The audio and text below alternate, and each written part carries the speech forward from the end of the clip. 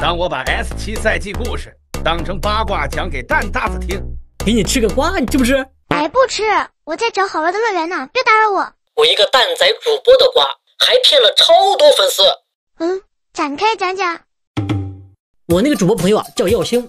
耀星，你说的该不会是上次跟咱们一起打巅峰最菜的那个吧？啊，这不重要。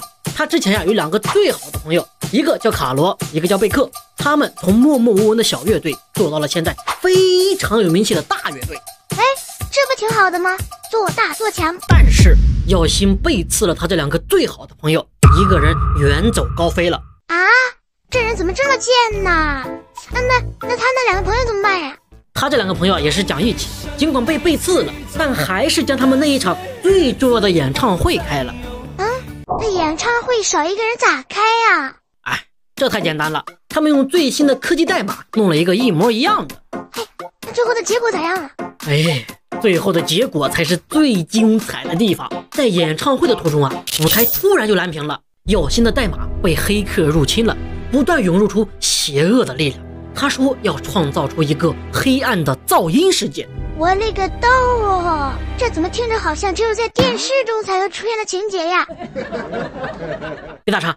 然后不知道怎么了啊，代码耀星突然就失踪了。台下的观众啊一直在喊加他加他，退钱退钱。最后啊，还是耀星的好朋友卡罗站出来说，耀星被邪恶代码入侵了，他害怕传播负能量，让大家失去了梦想和希望。所以他很早就离开大家，这是他被入侵前录下的最后一首歌。他希望用最后的歌声告诉大家，永远不要放弃梦想和希望。嗯，这是你哪一个发小呀？怎么这么伟大呀？就是他呀！S 七赛进了耀星。对呀，伟大吧？